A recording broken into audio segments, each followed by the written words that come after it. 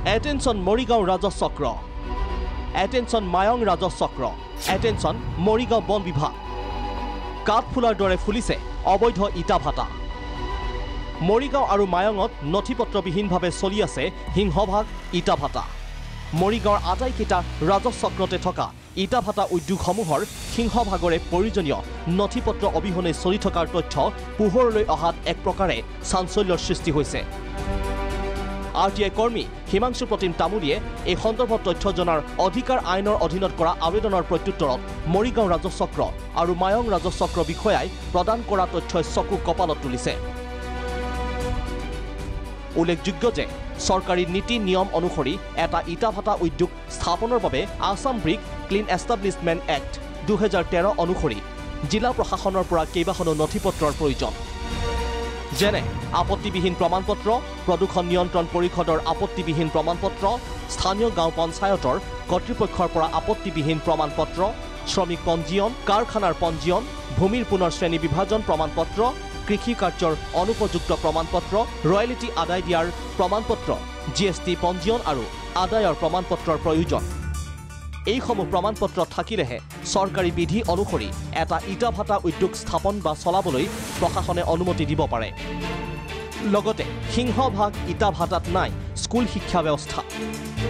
নিজ খেয়ালসূচী মতে দাম বৃদ্ধি ইটা ভাটা উদ্যোগৰ মালিক গোষ্ঠী। উল্লেখযোগ্য যে মৰিগাঁও তিনি চাৰি দিন পূৰ্বে ইটা ভাটাসমূহত এটা ইটাৰ মূল্য আছিল সাত টকাৰ পৰা আঠ টকা। কিন্তু নিশাটোতে এই মূল্য বৃদ্ধি পাই গৈ দহ টকাৰ পৰা এঘাৰ টকা। ইটা ভাটাসমূহৰ মালিক গোষ্ঠীয়ে খেয়ালখুচি মতে ইটাৰ দাম বৃদ্ধি কৰি জনসাধাৰণৰ মূৰত ৰাম টাঙোন সোধাইছে যদিও কাণ সাৰ নাই মৰিগাঁও জিলা প্ৰশাসনৰ। তেনেস্থলত মৰিগাঁৱৰ আৰু মায়ঙত প্ৰশাসনৰ অজ্ঞতা নে ৰহস্যজনক কাৰণত সিংহভাগ ইটা ভাটা চৰকাৰী নথি পত্ৰবিহীনভাৱে চলি থকাৰ অভিযোগ উত্থাপিত হৈছে। আন এক গুৰুতৰ অভিযোগ অনুসৰি একাংশ চৰকাৰী বিষয়াৰ ধন ঘটাৰ আহিলাত পৰিণত চৰকাৰী নথি পত্ৰবিহীন ইটা ভাটাৰ উদ্যোগসমূহ। ৰাজচক্ৰ বিষয়া বন বিভাগৰ বিষয়াৰ সৈতে গোপন বুজাবুজিৰে ইটা ভাটাৰ মালিকে চৰকাৰী নীতি নিয়মক বৃদ্ধাংগুষ্ঠ দেখুৱাই নথি পত্ৰবিহীনভাৱে ৰমৰমীয়াকৈ ব্যৱসায় চলাই আহিছে। আনকি একাংশ ইটা ভাটা মালিকৰ লগত ৰাজচক্ৰ বিষয়া বন বিভাগৰ বিষয়াৰ মিতিৰালিৰ বাবে ঘণ্টাৰ পিছত ঘণ্টা কাৰ্যালয়ৰ চৌহদত বহি চাহৰ জুতি লৈ থকাৰ তথ্যও পোহৰলৈ আহিছে। মৰিগাঁও ৰাজচক্ৰ আৰু মায়ং ৰাজচক্ৰৰ অন্তৰ্গত বিভিন্ন স্থানত স্থানীয় কৃষক ৰাইজৰ আপত্তিৰ পাছতো ইটা ভাটা স্থাপন কৰাটো ৰহস্যজনক হৈ পৰিছে। কাৰণ কৃষি উৎপাদনৰ জৰিয়তে অৰ্থনৈতিক ভেটি টনকিয়াল কৰি মৰিগাঁও আৰু মায়ঙৰ কৃষিভূমিত ইটা ভাটাৰ দৰে বৃহৎ প্ৰদূষণযুক্ত উদ্যোগ গঢ়ি উঠাৰ ফলত পথাৰসমূহ কৃষিৰ বাবে সম্পূৰ্ণ অনুপযোগীত শংকিত হৈছে কৃষক।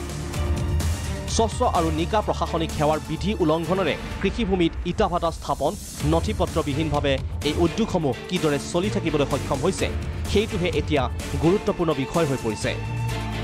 আনহাতে সিংহভাগ ইটা ভাটা উদ্যোগৰ স্বত্বাধিকাৰীৰ লগত মৰিগাঁও সংশ্লিষ্ট বিভাগৰ একাংশ চৰকাৰী বিষয়াৰে গোপন বুজাবুজি থকাৰ বাবে এনেদৰে ইটা ভাটাৰ ৰমৰমীয়া বেহা চলি আছে। পৰৱৰ্তী প্ৰতিবেদনত নথি পত্ৰবিহীন ইটা ভাটাৰ নাম আৰু স্বত্বাধিকাৰীৰ নাম সবিস্তাৰে প্ৰকাশ কৰা হ'ব ভিজন প্ৰাগত। মায়ঙৰ পৰা হিমাংশু প্ৰতিম তামুলী ৰিপৰ্ট ভিজন প্ৰাগ।